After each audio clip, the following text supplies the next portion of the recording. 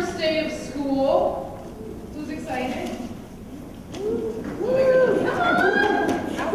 Wow. All right. Well, by the time that Pat O'Brien finishes, you guys are going to be super excited to take your semester, your career, uh, and your Miami year by storm. Let me tell you a little bit about why our guest speaker tonight is so special and so important to your success. We have had Pat O'Brien here for the past three years. I think this year makes number four or three. Um, and I see audiences year after year be so engaged and so excited about what Pat talks about. And here is why. It's because of all of his experience. Pat is actually a graduate of Miami University. He graduated from Miami in 1985. He went straight to Procter & Gamble and went into brand management. And he was promoted first in his Procter & Gamble class of 100 new employees to be the brand manager of Crest Toothpaste. He's written three books, including the one that you have, um, and they've been featured in USA Today, the New York Times, Chicago Tribune, and the CBS Morning News. He founded a company called Making It Count, a group of the world's largest speaking company, delivering live presentations to more than 25 million students, with sponsors like P&G, Bank of America, Apple, GM, Microsoft, PricewaterhouseCoopers, AT&T, and IBM. Making It Count was then acquired by a company called CollegeLink.com, where O'Brien served as a CEO. That company was acquired by Monster.com. Anybody heard of Monster.com, right? Where he then served as division president. So he also has a first-hand look at what employers want in the candidates that they hire. In 2003, Pat created a college class called Real Strategies for Real Business, which he's taught here at Miami for the past 10 years. So in addition to that perspective, he offers a perspective as a faculty member, a college educator. And finally, he writes a weekly column for USA Today College, does consulting, and is an angel investor in three startup companies. So now you should understand why you should be really excited, and what I want to do is ask everybody to welcome Pat with the exuberance that you now feel about the information that he's going to share. Please welcome Pat O'Brien.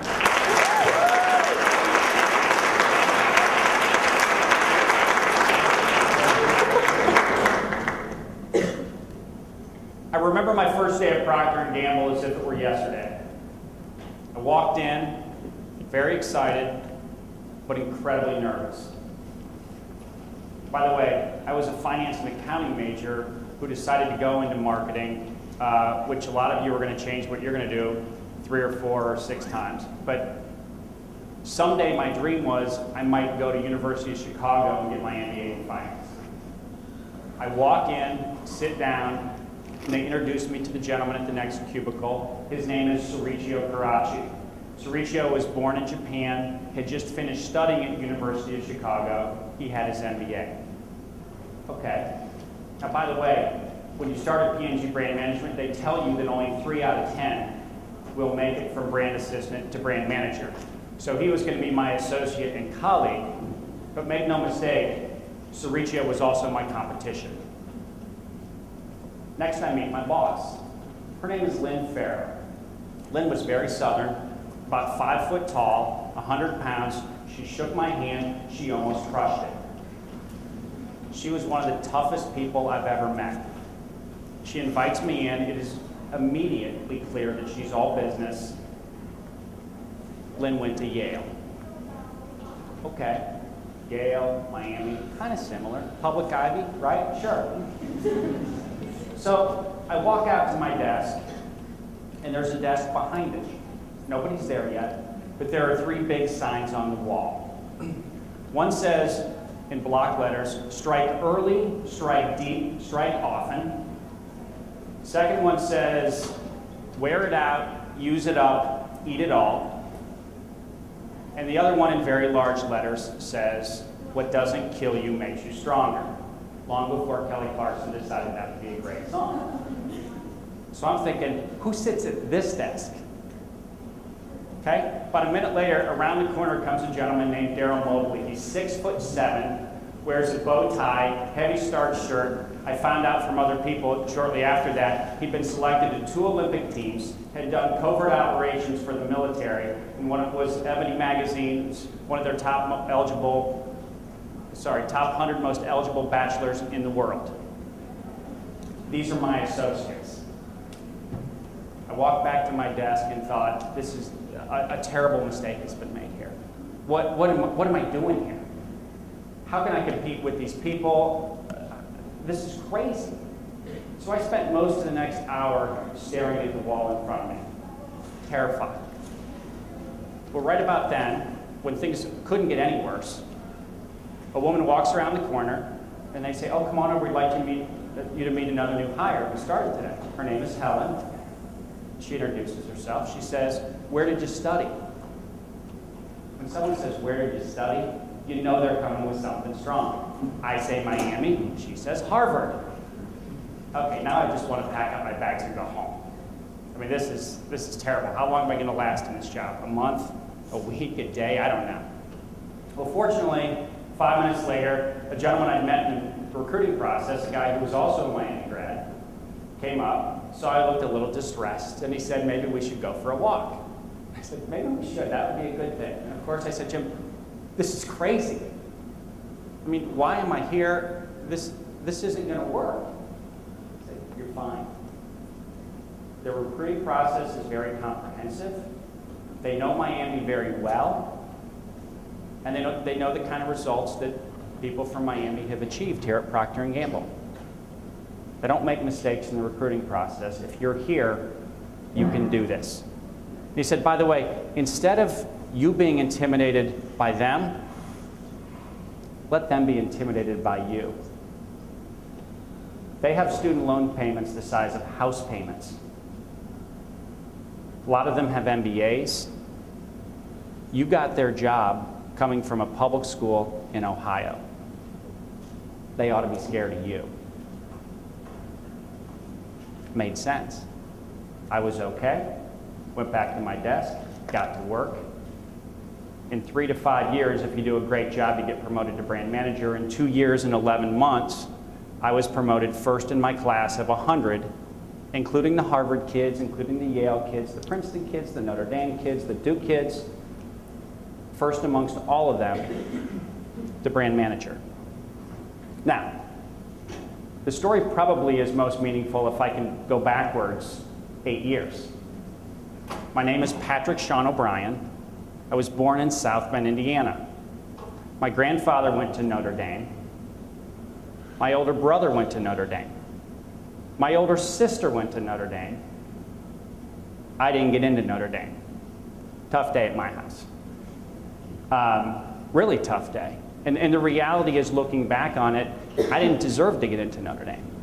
I hadn't made good enough choices in high school to open that door.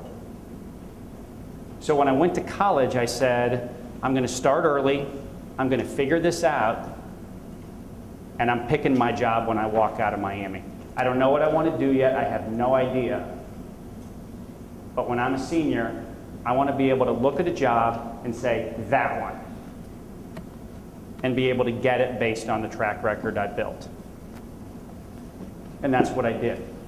And I tell both pieces of that story because the reality is, it's not where you start, it's where you finish, right? You hear the P&G story and you go, yeah, this kid's probably like 36 on the ACT, straight A's in high school, this, that. No, none of that. I was somebody who got kicked in the teeth and decided to respond to it. That's simple. Now, if you walk out of here with one takeaway tonight, one thing and one thing only, make it this. The education you can get at this school will put you in a position to compete with anyone, anywhere in the world, and to win. This school is fantastic. We're going to talk tonight about what you can do to make the most of it. But I can tell you, based on not just my experience, but I've taught here now for 10 years, I'm in touch with probably one out of four of the students who I've ever had in my class. And the things they're doing will blow your mind. I mean, one of my students, I just went to her wedding in New York this summer. She left here, went to work for Deloitte doing consulting, got into Harvard Business School, went to Harvard Business School, became president of Harvard Business School, and at age 27 is now running global projects for Deloitte. She's a Miami grad. I went to the wedding, I met 15 or 20 other people just like her in a broad spectrum of fields, you know, just all doing really amazing stuff. So I truly believe, and I know it because I see it in the students who take my class, that the education that you can get here is truly outstanding. If you make the most of it, if you make the right choices. Choices is a word you'll hear me say a lot tonight. Huge believer in this. Huge believer in the fact that if you had the credentials to get into this school, that if you make the right choices, you can leave doing whatever you want to do. You made a great choice coming tonight. I mean, my commitment and when I stand in front of any group like this is I want you to leave here fired up.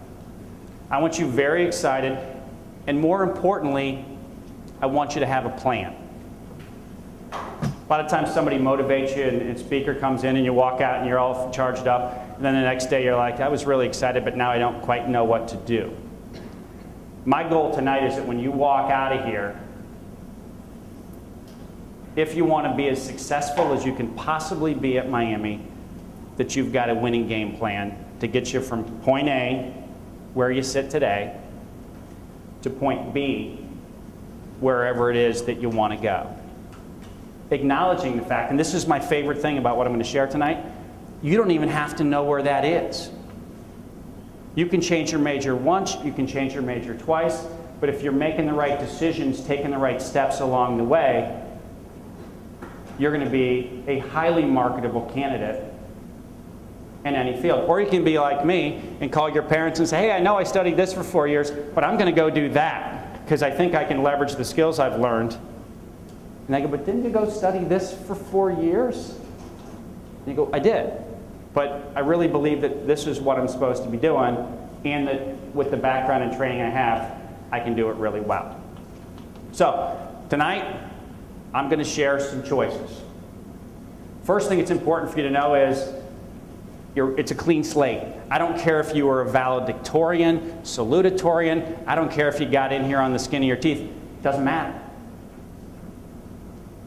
Clean, step, clean slate, started today. It's what you do going forward that matters. Now, importantly, and, and this is really important, there are a lot of great reasons to be here. You've had a full week of orientation. Um, you know, you're, you're going to hear different speakers. You're going to hear from different professors when you go to your classes for the first time. The view of college that I'm going to give you tonight is my view. And the reality is this. When you walk out of here as a Miami grad, you're either going to have a great job a good job or no job. I see it every year. That's reality. The frame of reference I will speak from tonight is jobs. We could talk about becoming lifetime learners. We could talk about the value of broadening and, and the Miami plan and all kinds of really phenomenal things that this school does. But tonight, the advantage you're going to have relative to your classmates who aren't here is you're going to have a much better perspective on how to land in the top tier, regardless of your major, regardless of the school you're studying in. So that's the frame of reference. I'm going to come back to that again and again and again tonight. Because when we leave here, what you're going to understand is you can make choices to get there. You won't like all of them, but where do you want to be? So, I'm going to ask you eight questions. So I could sit up here and give you every bit of knowledge I have that I've accumulated in 25 years of researching for three books, of seeing 10 years of graduates, of all the writing I do for USA Today, for the stuff I've done. I've interviewed uh, top recruiters, I mean, you name it, from huge companies, world leaders in healthcare, to the Googles and the Intels in technology, to people in, in you know, consumer packaged goods, just an incredibly broad range of, of companies that do an incredibly broad range of things. But eight questions is what we're going to focus on tonight. And I think you already know the answers to most of them. We're going to start simple. Okay? If you want to be successful in college, do you need to put in more time than you put in in high school or less? More. You're a, you're a quick group. All right, so you're thinking, that was a pretty dumb question. Well, maybe it was, maybe it wasn't. Let's talk about it for a second. In high school, what time did you typically get up and roll out of the house in the morning? 6.30? We'll even call it 7. What time did you get home? Okay, 6. If you, if you were in theater or played sports or you know, had something going after school, it might be 6, 7. We'll just assume you went straight home and you got home by 4. Okay, that's 9 hours a day. Times 5, 9 times 5. I know I'm at Miami. Great math. All right, 45. How many hours are you taking this semester? 17. How many are you taking in the green shirt? 15. All right, on average, you need 16 hours a semester to graduate in four years, which is my wish for you, and even more so your parents' wish for you. Right? Okay, so math's getting harder. 45 minus 16. 29. All right, let's say I'm a good guy, and I am. Right? I have a couple of my former students here, pretty good guy, right? So I'm going to give you an hour a day for lunch. A little time to relax, let off a little steam. 29 minus 5, 24. I will tell you right now, if you put in 24 hours a week studying, you will pick your job. It's over. You win. 24 hours a week. The reality is, is on average, college students nationally put in about 12. So on average, college students put in 12 fewer hours when just a second ago, every single person kind of rolled their eyes and went, more. Of course you got to put in more. Well, college kids don't. But you can. Get up early, budget your time, right? In the book, I talk about a guy in my dorm. I lived in Stanton. Um, we called him we called him Spaceman. Spaceman went out every night. End of the first semester, they post the dean's list on the wall. His name is on it. Well, we couldn't believe this has got to be a mistake. Well, apparently it's not. So immediately we want to know what classes did you take? Who are your profs? Right? Because we all want those teachers. Because clearly they just give an A to everybody. And he said, You guys don't get it. I go, Well, clearly we don't. Could you care to enlighten us? And he said, I go out a lot, but for me, college is my full time job. I'm up every morning by 7. I'm out of here by 7:30. And if you hadn't noticed, you don't see me hanging out during the day. I'm back home at 5:30. My nights, my weekends, they're mine. But I put in more time than any of you people do. And that's why I'm on the dean's list. And he was right. So, number one, manage your time. It, it, it's simple but, but it's, it's incredibly, incredibly important. Number two, if I'm a professor, and my name is Pat O'Brien, which actually both of those are true, and I'm teaching a, a standard course, and I'll talk a little bit about my course later. Um, I'm teaching a standard course, and on the spine of my book, it says, the book that I'm teaching from, it says Mary Williamson. Is spending the night before the test trying to catch up on your readings, you know, reading eight, ten chapters. Is that a way to prepare for success on my test? No, not even close. But you'll watch people do it.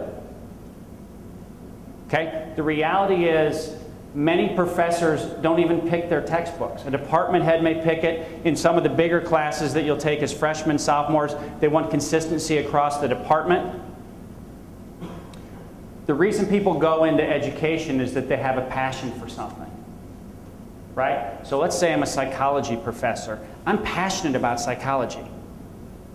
I love it. So when you come in every day, I'm excited to teach you what I know about psychology. So when I test you, what do you think I'm going to test on?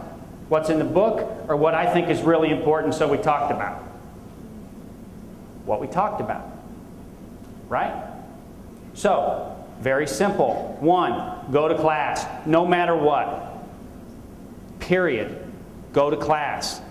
Number two, when you go, sit up front. I could be the most boring man in America. You can't fall asleep on me. You just can't. Okay? The dude back there who's nodding off, he can. How you doing? We were talking about you. All right? So if you sit up front, you can't do that. Right? If you sit in the back, it's easy to fade out. And, and as good a school as this is, you're not going to love every professor you have, and you're not going to be intellectually stimulated by every class that you take. There may be a Tuesday in a class that you go, I'm just not that interested in this. But if you're up front, you're in the game. Also, take a lot of notes. I might be so passionate about something I'm teaching you that day that I may say, you'd be well served to remember this. You may see this again. When I do that, I'm not trying to trick you. I feel so important that you learn this subject matter that I just shared with you that I'm basically going to give away to you the fact that it's on the test. When professors do that, most people just stare right back at them go like you ought to be starring it, putting circles around it. Like that's 10 points in your next test, right there. Why would you not take those points? Okay? So, number 2, go to class and engage when you get there. Number 3, this is where I start to lose friends. How many hours is a reasonable amount of time to study for a college level test? How many hours is a reasonable amount of time to study for a college level test? You in the red shirt, how many? Be honest. Like how many chapters? Well, just a typical test. Like five? About five, okay? Um, in the white Miami shirt? Six. All right, in the gray shirt? That's you. Eight, okay, and you? Ten. What would you tell them, oh seniors in the back there? Thirty to thirty to forty. For one test? See, I wouldn't even say that. They're taking hard classes, they're seniors. Give me 15 to start. As you get into 300, 400 level classes, it'll take more than that. Yeah, I'm really serious about 15. But if you give me the 24 hours a week that I think you committed to about five minutes ago, you can fit that in, you can do that. And I'll even make you a deal. Remember, we said I was a nice guy, right? If halfway through the semester your grades are too high, you can back off to 10. And second semester, if you get at least, we'll call it a 3 8, we can back off to the 5 or 6 that you guys were talking about. And I'd, I'd be okay with that. But by the way, by the time you reach that point and you've got great grades and, and the people around you all like, you know, crashed and burned first semester, because that's what all freshmen do, right? No. Start strong. Put in the time, put in 15 hours per test. And if you do it, right, let's use the spaceman story. Before class, between class, after class, before dinner. I'm not telling you not to have fun at college. I spoke at a school last week, and some kid came up to me afterwards. He goes, I, I got to ask you, did, uh, did you party in college? I said, I had a great time in college. I went out most Thursday nights, every Friday night, and every Saturday night. Now, I studied like an idiot all day on Sunday, and I put in, you know, dawn to dusk and beyond, Monday, Tuesday, Wednesday, Thursday. Never went out before a test. But, but the night before a test, there, there will always be in college the greatest party ever. It just happens, right? It is the greatest party ever. You must go. And then, know, the people who go to the party went, yeah, it was okay. Uh, they get destroyed on the test. And then the next night, by the way, when there's no test, there's the greatest party ever again. And then you can just go to that one, and your friend's all bummed out because he or she bombed the test. Uh, but they get to go to that party too. Um, so, 12 to 15 hours. Remember, we're going to put in more time than we did in high school, and if you look at all the free time you have, you actually do have time to do that. Number four. Question's getting harder now. How many days in finals week? Five. Anybody have a different answer? I would argue. I would argue. What's that? No. I, I would argue 12. I would argue that the pace that you will create and have to maintain during finals week that you probably couldn't keep up for the whole semester. But, but, but I would say this, okay? Like by the time you're a junior or senior, if you're like a top of the heap kid, you will shut down all life as you know it seven days before finals start. You won't go out, you won't do, you won't do social stuff, you won't do the, you know, on, on Tuesdays we go to Chipotle and, and hang out for an hour. No. Upperclassmen have figured out that you stop a full week beforehand and you go at it hard. Now, why? Well, in a period of five days, 30 to 40% of your final grade will be determined. Think about that. You're going to come here the whole semester and work your tails off, I hope. And then in a five day window, 30 to 40% of your grade. A lot of the tests will be cumulative, so they're harder tests. And they're coming at you one a day. Maybe you have two on Tuesday. Maybe you have a day off to catch your breath. But kind of an odd sequence and scheduling of tests, 30 to 40% of your grade. If you start a week beforehand and you say, okay, let me start with my last test. It's cumulative, it's not cumulative. If it's not cumulative, maybe you get away with the 15 hours. If it is cumulative, it's probably going to be more. So when can I do that study? Then you go, when's my second to last test? And start to schedule that. And then you go backwards. And by the way, you'll find that to study as much as you want to study and still sleep, and we'll talk about that, that you'll need seven days ahead of time. But I promise you, freshmen get A's. Right? Freshmen get four points, freshmen get three fives. Not everybody hits the wall freshman year. So, so why not you? Why, why not you be one of the freshmen who gets the strong grades? The stuff that we've talked about doing, none of it's rocket science. What I've just shared is basic blocking and tackling. Simple stuff. Very doable stuff.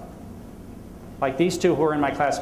By the way, to get into my class, you have to send me to a you have to send me a resume. You have to have a certain GPA, and you have to be a campus leader. I have kind of an odd class, um, but it's meant for the top of the top of the juniors and seniors at Miami. They're both in that class, right? They made the choices. You can make the choices. They were you 36 months ago. Now, you may be sitting there going, I don't want to work that hard. My response is, you don't have to. You absolutely positively don't have to work that hard. Unless you want to be on the top shelf. If you want to pick your job, if you want to create your opportunity, then I would say, all in all, it's a, it's a pretty manageable investment and you get where you want to go. And you fully leverage the amazing opportunities this school has. By the way, I would even comment on this. I can talk to a student, if I sat with, um, if I sat with any of you after the end of your sophomore year, right, so what is that, 19 months from now? No, 21 months from now?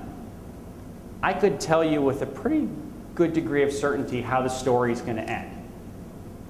Like in the first two years, you will set a trajectory for your college career, whether you change majors or not, whether you even know what you want to do yet or not. But after two years, I could look at it and go, she's in phenomenal shape. She's really going to do amazing things. Or I could say, well, this other person, they're, they're going to have kind of a rude awakening in a year or two. So it's really even like the first two years. And I'll, I'll, I'll come back to that and explain that point later. Uh, so that was question four. Question five, which might help you understand the importance of questions one through four. This is the bonus question tonight. Anybody gets this question right, except the seniors, I'll buy you La Rosa's pizza. That's, that's the kind of Cincinnati Oxford pizza if you're not from Ohio. It's okay. Uh, um, what's an ATS? What is an ATS and how will it either empower your job search or cripple it in 36 months? Because it's a big deal. No, you're not allowed to look in the book, but I like the creativity. All right. So, when I ran a division for Monster.com, we sold things called ATSs. An ATS was an applicant tracking system. And let's break it down and make it very simple and help you understand how, how that's relevant to your life. Okay? So let's say the woman in the blue back there, you want to apply to company A. Okay? Let's say you're a recruiter for company A. Okay? She applies. She's one of 100 and, 160 Miami kids who wants to get on the recruitment schedule that day. Okay? You're coming to recruit. In fact, she's coming with you. And when you recruit, it's typically a half an hour interview, eight slots a day. So, or eight slots in the morning, eight slots in the afternoon, so 16. So you have 32 slots, you have 160 students that you have to sift through to figure out who gets the 32 spots. But you bought an applicant tracking system, as every medium-sized and big, large company has. So all these students are now in a database. They have resumes, but what you have is a sortable database with every field available to you. If it's 4:45 in the afternoon, you want to go running after work, you got stuff to do, you're a busy guy. And you've got to get down. You don't really want to look at 160 of these profiles. Maybe you'll look at 50. What would you sort on? What field would you sort on that would determine whether or not she got an interview? What's the first thing you're going to sort on? GPA. Is that right? Oh, I don't know, but it's real. Now, you're probably not going to set it at 3.9 because good recruiters do understand the concept that they want well-rounded students who've done things on campus and didn't just go park themselves in the library 24/7. So you, you know, depending on the company, you might set it at 3.2, you might set it at 3.5. Good economy, bad economy. But you're going to sort on GPA. So if she's got a 2.4, but has done all this amazing stuff on campus, you're never even going to see her, her resume, are you? Nope. And you're going to find 32 candidates, and I'm here to tell you that Miami of Ohio, most of those candidates will be darn good. You're going to hire a bunch of those students, and off you go, happy as can be. And she's going to be sitting back there, go, but, but, but wait, I, uh, uh, on the other hand, if she's got a 3 6, she takes the first step. She starts the interview process. She's in. So, as I've harped on the time you're going to put into academics, how you're going to approach time management, how you're going to approach finals week, I believe it's more important than ever. It's more important than when I was at Miami because of the technology that employers are going to use to screen you in or to screen you out. All right, but very important, question six, and I'll explain why that GPA only gets you that first step, it only gets you that interview. I don't want you to just get the interview, I want you to get the job. And I want more, more Miami students to get jobs than students from other schools. So, how are we going to take that next step? Question Do recruiters care if you held office in organizations here on campus? Who says yes? Who says no? Who says maybe? I say maybe. All right, in high school, every, you all had some kind of activity sheet. So it's nice to have all the titles. And I think the titles are nice too. But what I care more about is impact. Was she an impact player? Was he an impact player? What do I mean by that? Well, two words different, better. Okay? Different, better. Did you make things you were a part of somehow different and better? You may be president of Alpha Alpha Alpha or this. That's great. You may be a member of 16 scholastic honoraries. You've got more Greek letters on your resume than any other three people on campus. I don't really care. How did you make a difference? Right? Uh, one of the students I had graduated about four years ago was incredibly sought after by employers. Her name was Brittany, and her passion was horses. And Miami's equestrian club was really struggling when she came in. And she looked at it and said, I love horses. I don't want this to die. Miami's had an equestrian club forever, but membership's down, financial support's down, and it's, I, I can see where it's going. And she said, she joined the club, and by the time she was a sophomore, she said, I want to, I want to, you know, revive this thing. And I'm going to do membership drives. We're going to do fundraisers because if you know anything about equestrian, it's not cheap. I'm going to find a way to get alumni involved who had wonderful experiences with equestrian in Miami at Miami and help reacquaint them with them and, and revive that passion, see if they'll help us financially. And she rebuilt the equestrian club. Different, better. Awesome. Employers looked at her and said, she's someone who can make a difference. I'm not hiring a 22 year old because of your experience. You don't have a lot. I'm hiring you because you're hard charging and you've got fresh new ideas and you can get things done. We all know that person who has a million different ideas and can't get out of their own way.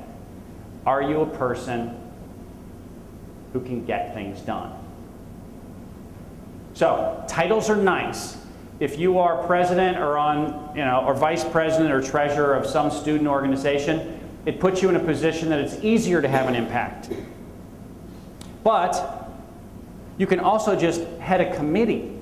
Or, you know, you can't say, oh, I didn't get elected president, it's over for me. You can run a committee and have a big impact.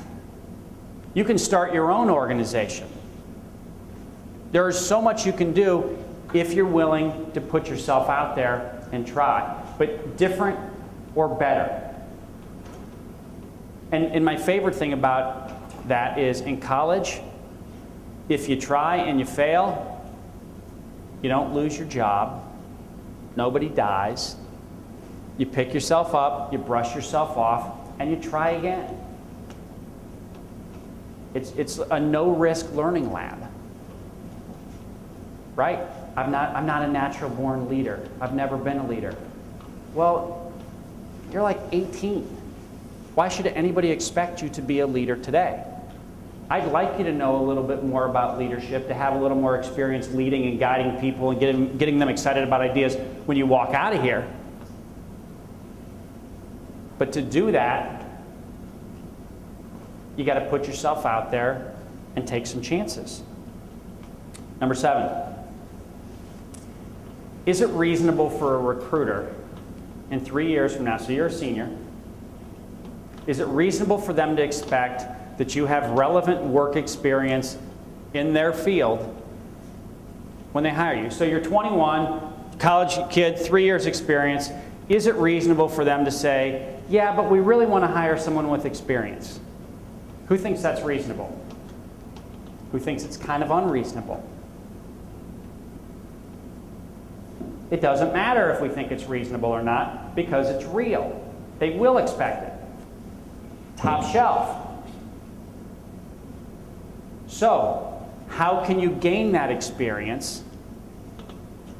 Between now and then, how can you leverage jobs and internships and, and put yourself in a position so that when you sit down with them your senior year, you have experience? It's doable. Miami kids do it every year.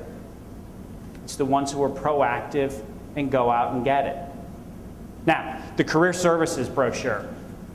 Career services in general here, it's phenomenal. I mean, the, the career services department at Miami is a competitive advantage for you. But they're not going to come knocking on your door every three weeks. You know, we haven't seen you yet. You need to engage, you need to go, you need to be proactive. Jobs on campus that have nothing, you know, you go, okay, sitting at the desk, you know, for the chemistry department for 12 hours a week. How is that going to help me? Well, it's going to help you a lot. You're going to meet the professors, you're going to develop relationships. If somebody comes in who's here, who's, you know, recruiting from Ethicon, and wants to come in and, and, and meet their old professor and just say hello. Guess who's sitting at the front desk? You. So, and, and, when I come to recruit for an internship, for an internship, I know you don't have any experience. Right? But if I'm coming from Baxter Pharmaceuticals, I may look at it, look at your resume and see that you work in the chemistry department. I go, oh, he's, he's pretty into this. Why, do you, why did you choose that? What do you like about working there? Suddenly we've got a good dialogue about something outside the classroom. I get an internship. Then the beginning of my senior year, I have that experience that they wanted. Suddenly not so daunting, right? Now, my wish for is that you have two internships. And if you can, do something as close to relevant as you can even next summer. Whatever kind of setting you think you want to work in, what can I do next summer beyond making ice cream cones at the local Whippy Dip that's a little more relevant? There's nothing wrong with the Whippy Dip. But what can I do that's a little more relevant so that I learn a little bit more, I broaden a little more, but you've got to you know, keep your eyes and ears open, start talking to professors um, early and often. Talk to, you know, your, your parents have friends that you've never had an adult conversation before in your life. They still think of you like you're nine. What do you do? Why do you like it? Let's talk about it, et cetera, et cetera, et cetera. But leverage all of the resources you have here at your disposal at Miami. Leverage the Career Center become, you know, become certified. It's a really good investment of your time, and I think one of the reasons you're here at this school and here tonight is you want to be there. Right? Right? So, related to that, question eight. We need honesty on this one. Who, now that you're in college, is really excited about the idea of networking? I think a lot of people who raise their hand on that are liars. A few people like it. But as I tell my class, so this is a, a, short preview of one of the things we talk about in one of the classes, is I'd like to change how you think about networking. I think networking is really important. But most think, people think about networking as meeting people and seeing what I can get from them. So it feels insincere, it feels smarmy, it's uncomfortable. And under that definition, it should be uncomfortable. But let's think about it a little differently. Okay? What about investing in people? What about trying to find ways to make an investment with in, investment in people that you meet that you'd like to have a relationship with? It's not that hard. You just have to think. You have to be creative. One of my favorite role model mentors was a guy named Stephen Covey. He wrote a book called Seven Habits of Highly Effective People, probably one of the five most significant business books of all time. If you haven't heard of it, you'll have heard of it by the time you walk out of here. Okay? I met him at a conference. I was in a long line of about 100 people who all shook his hand, took his picture, and, and never spoke to him again in their whole lives. Okay? I'm in that line going, this guy is one of my heroes. What could I do to help him?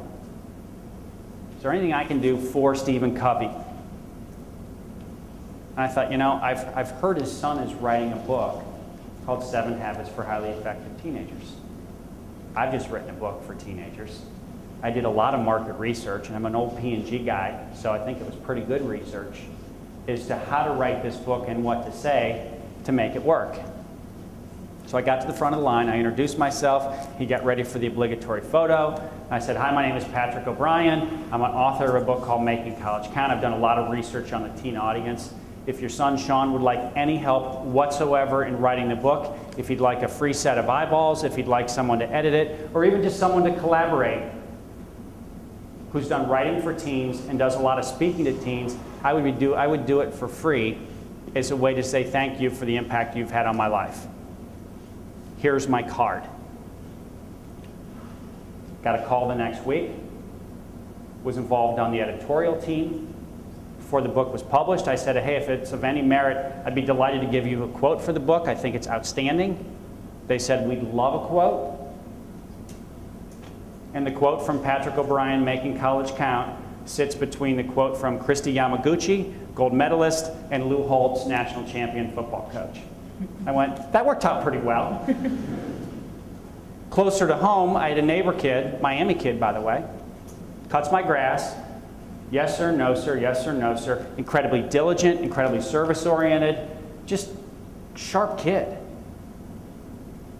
Okay, would always ask me questions about college and my career.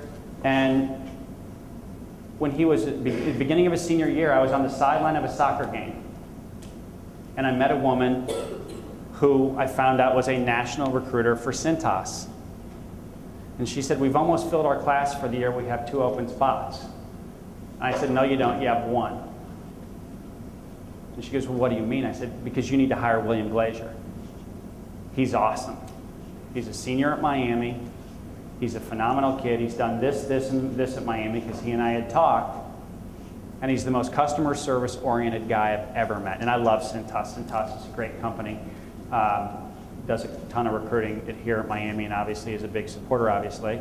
Uh, William, you know, she called William the next day. They interviewed within the week, and William is in his second year with Cintas in Chicago, doing a phenomenal job and loving it. That's networking. Networking is meeting people, investing in them, and building real relationships. And if you think about it that way, you're going to be a whole lot more excited about going out and meeting people and networking. All right, eight questions. Um, each of you can do all of those eight questions, all of those eight things we discussed, right? What, what did I talk about that you can't choose to do? Nothing as far as I know. Now, here's where it gets interesting, and I'm going to be quick about this. I'm not going to spend a ton of time on this. But as you read the book, and I know you will, okay, this is the basic success model in the book. Okay? And it's a little different spin on the eight questions we just talked about, but let me explain it very quickly. Okay? There are three foundational parts of your college experience. There's what happens in the classroom. We talked a lot about that. You've got to get it done in the classroom. Second, extracurricular activities. Different or better, right? Got to be an impact player, got to make a difference. Third, the work experience. A lot of the things we talked about related to career services, right? Starting early, getting opportunities, even if they're not glamorous at first. Put yourself out there, get the work experience. When you do those three things, you're going to build those skills. Okay? When I, when I interviewed recruiters from top companies in the world of all kinds, all industries, and said, What are you looking for in the college graduates you hire? They basically played back those seven things. Actually, now when I do the model, I put a halo around it with the word ethics. Because they care more than ever about your ethics, because people who've made poor choices have brought down some of the largest organizations in the world. So that matters today more than ever. But, but seven things, and they call them different things. They may call them core competency, core competencies. P&G calls them the what counts factors. They, they all change in different industries, but the reality is those are the seven things. And if you build them while you're here in college, and you'll naturally build them by doing those, those things, by, by being strong in academics, extracurriculars, and work experience, and then off you go. That simple. It's that clean. It's hard, but having researched it for 20 years, having a front row seat to it on this campus for 10, that's how it works.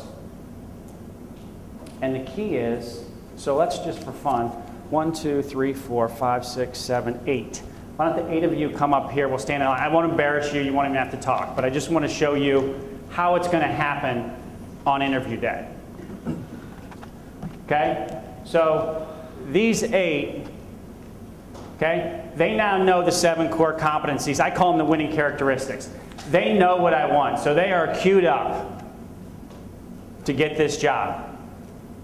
Okay? So they're all dressed well, they're all polished, they're all certified with the Career Center, and here we go. So we get the interview, and I say, Tell me about a time when you got other people excited about an idea and went out and made something happen that wouldn't have happened without you involved. I don't want to hear what you were president of. I don't want to hear what varsity team you played on. I want to know when you made an impact. When you made something happen that if anybody else was sitting in that seat wouldn't have happened. Oh, that's a tough question. Some people have an answer. And by the way, then I'll ask it again. I'll say, Tell me about another time. And tell me about another time until I wear you out. Maybe four out of the eight, one, two, three, four, step forward, give me answers that I'm satisfied with. They've now shown me that they have leadership skills. Okay? Now I want to know what kind of mettle you have. Tell me about a time, you four only, that you had too much on your plate. You're working, you, school's coming down on you, you've got extra quick, you just had too much. tell me about a time you had too much on your plate and tell me how you successfully managed it. Tell me what you did. Okay? Everybody's going to give me an answer. Not everybody's going to give me a good answer. What I'm trying to get at is who's motivated? Who's, who's going to put in the effort? Who's going to stay the extra hours? Who's going to do whatever it takes for us to get the job done? And not what you say you're going to do. I want to know what you have done. Okay? This is when you go to the Career Services Center, they're going to talk about behavioral based interviewing. And what it basically means is that I'm going to assume as a recruiter that what you do in the future will be similar to what you did in the past. And if these two tell me how they put in the hours, how they work not just hard, but work smart and prioritized, delegated, and figured out a way to get it all done and get it done well, go ahead and take a step forward. Now I know that they have two of the core competencies that are most critical to me.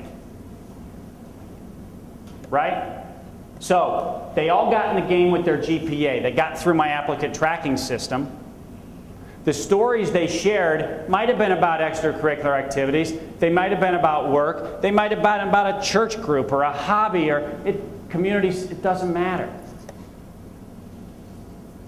Right? What matters is that you build these competencies. And by the way, this isn't a, you know, this isn't for one major or one company or even one school within Miami.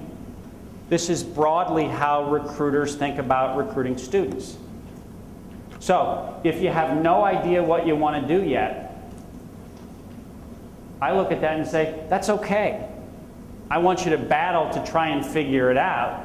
And by the way, if you think you're interested in you know, a particular field and you join a club and that club has speakers come in, that's going to help you figure it out. You're going to take classes. Hopefully, you're going to get some work experience. I completely shifted gears after my junior year. Would I recommend that? Not necessarily, but I was far enough along and I had a broad enough background and I could answer those questions to get here that I was able to successfully navigate and get a job outside my career field. So you're not limited, gee, I am this major. Well, that, that shouldn't limit you. Right? It should it just create opportunities for you if you've built the academics, the extracurriculars, and the work experience to get it done. Okay, you guys can go ahead and sit down. Thank you. Now, I told you um, that I could talk to you in 24 months and tell you how the story will most likely play out for you. Let me, let me read an email I got literally a month ago from a student. I'm not going to share his name. Dear Mr. Bryan, I reached out to you late last year thanking you for providing insights and ideas on how to be as successful as possible. I want to start by thanking you again, giving you a brief update on what I've been up to. I started college as an average or traditional student. After we after I, we spoke, I continued to work hard, implemented your advice, and was able to get into the honors program in my school. I had the opportunity to spend two weeks in India, my first time out of the country, and even got elected as president of an organization. All of this culminated into an amazing job opportunity, an internship, um, at a company called Standard Textile. I'm doing an internal management consulting and corporate strategy internship, and I love it. I'm earning, learning so much every day, and I find it incredibly fascinating. I'm thinking about starting a new club related to all this at my school. In short, thank you for coming to speak to us. Da da da da da da da. And at the bottom, below his name, it says class of 2016. This kid's a sophomore. I don't need another 12 months to figure out how the story ends for him. He's going to go do whatever he wants. Average student makes a commitment, makes great choices, doors begin to open. And once the doors begin to open, they seem to continue to open in front of you. If you get off to a fast start,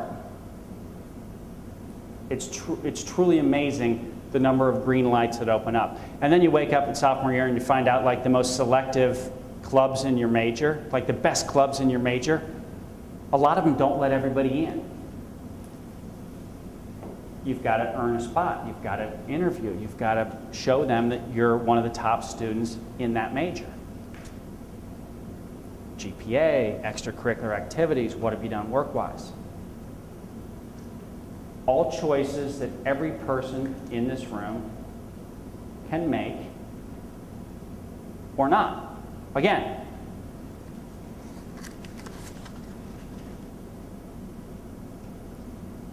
what's your goal? I knew what mine was. And while I did have fun here at Miami, I had an incredible amount of fun. I knew where I wanted to be. What I hope I've given you tonight, and what I hope the book will offer you, is a roadmap to get you from where you sit today to wherever it is that you personally want to go, however you define success. which Miami students define success incredibly differently. And it's not for anybody else to define that for you. It's your career, it's your journey.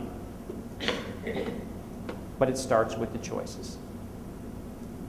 I'd like to leave you with uh, the message I got on the holiday card that I received from Daryl Mobley, the six foot seven inch guy with the bow tie, who worked with me at P&G. His holiday greeting came. It was a picture of Santa Claus. I opened it up, and it was one simple question that he presented to me that I still think about. Literally three decades later, I still think about a question that he put in my holiday greeting card long, long ago. How great will you choose to be?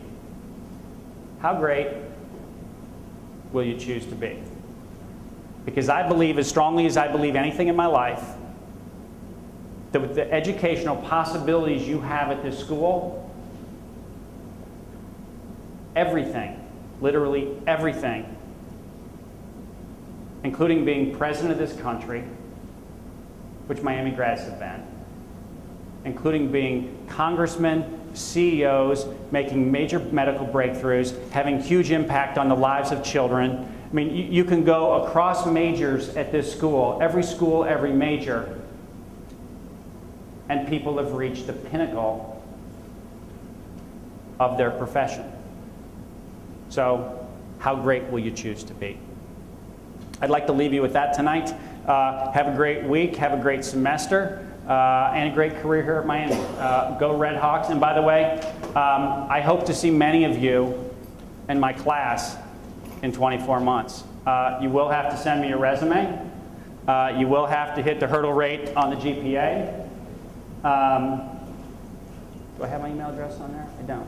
Um, my email address is pat at makecollegecount.com. I have a Miami one too, but it's, it's longer and more difficult to articulate. Um, so it's pat at makecollegecount. And uh, I would love to see you in my class in, uh, in 24 months.